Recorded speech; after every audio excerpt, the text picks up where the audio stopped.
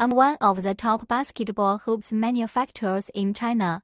We support customization. Our official website is 3w 点 q i n n g m e n g t i y u 点